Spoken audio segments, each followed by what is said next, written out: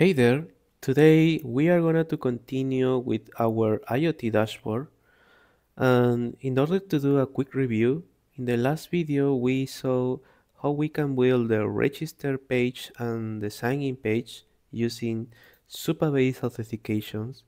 So right now we are available to do a login, for example with GitHub. And this will redirect to our homepage um, because I have already built all the application. In this video I only want to explain the navbar sections. So in order to do more quickly I will copy and paste all the components that is necessary and I will try to explain also the dependencies that you should use.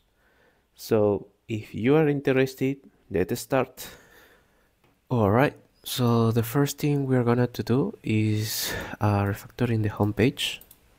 So I have the home page, the final home page here. Let me paste it and I will comment the section that we are not working today. Okay, so you can see I need copy the navbar components that is from here. And also because I was using this index I have to copy this file. Alright. So in the navbar component I have uh, two models profile models setting models and two drawer profile and setting drawer. So I have to copy and paste here.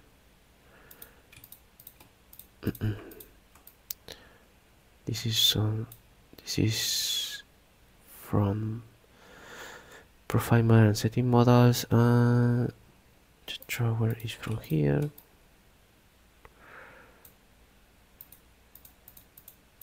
Okay and then as you can see I need the UI component that is called drawer so you can find here in the shadcn documentation the drawer so the only thing you should do is copy and paste the code. Mm. and also I will need the avatar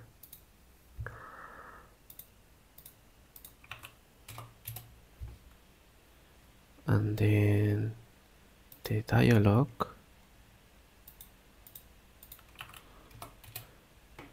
and then the batch.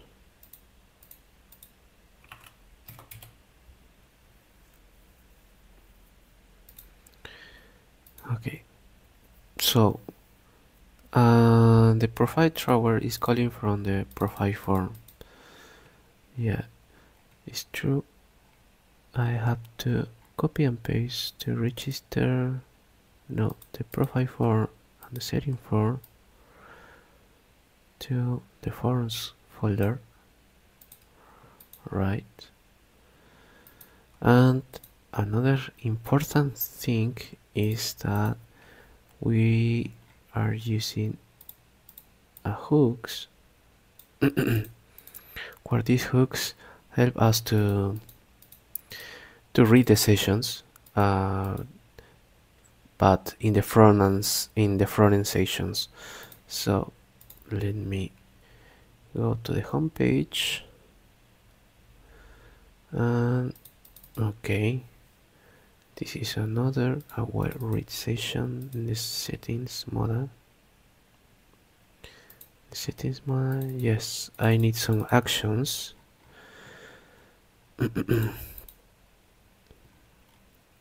okay I go to the action page and I will add this action from the settings. And because these are using revalidate page I think I have to copy and paste this also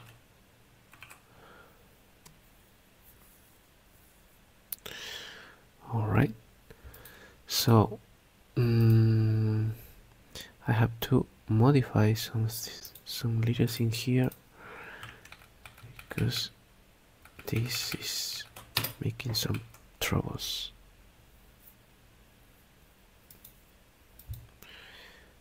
Um, okay. Yes I have to put some height I will put high screen to see all the screen. And here we are. I have the profile sections with email and full name and also my avatar and the settings. Where you can see here you can adjust your telemetry settings to connect to ThingsBoard this this dialog will be very useful in the future to connect with ThingsBoard and also the GitHub that redirect to only a, a button link and the sign, the sign out button. Alright so let's review some important points here. Uh, we started the video copying this component, the navbar component, and as you can see the navbar component use profile model and profile drawer. So the profile model is only available in the normal screen, that means if I go to profile you will see the profile model. And the profile travel is only available in a mobile screen. So if I go to the mobile screen and click on the profile you will see the profile travel and it happens the same for the settings for, for example here in the mobile in the mobile screen you can see the settings drawer that's this component and if I go to the normal screens you will see the settings uh, model okay and another thing that is important to know is for example in the profile I use um, profile form to show the information inside a profile model. This profile form is using also in the profile drawer. So if I go to the profile, for example, modal you will see here I import the profile form. And if I go to the profile drawer, you will see the same component profile form.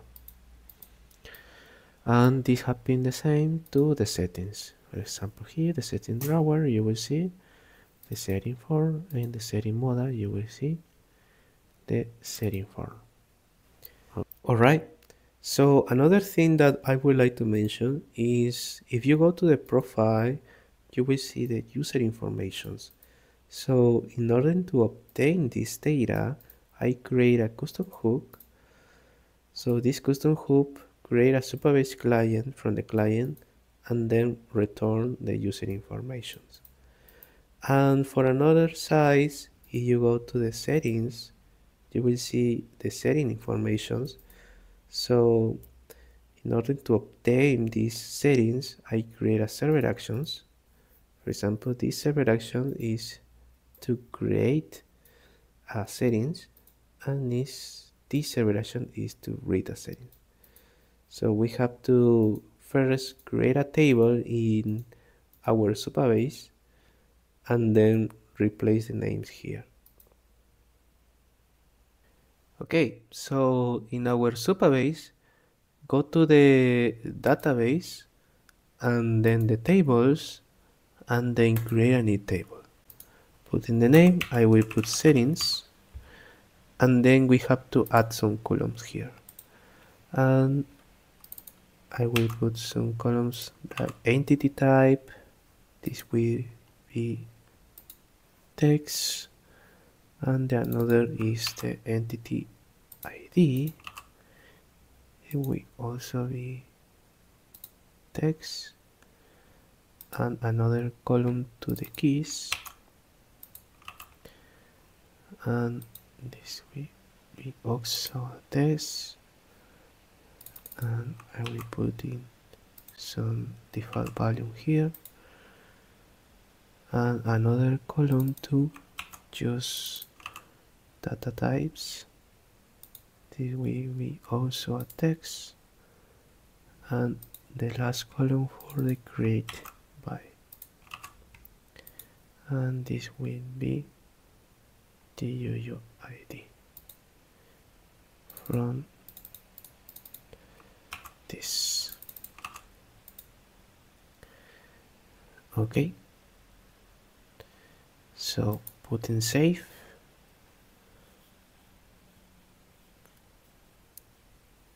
and also it's important to mention that we have to create so some uh, policies. You can go to the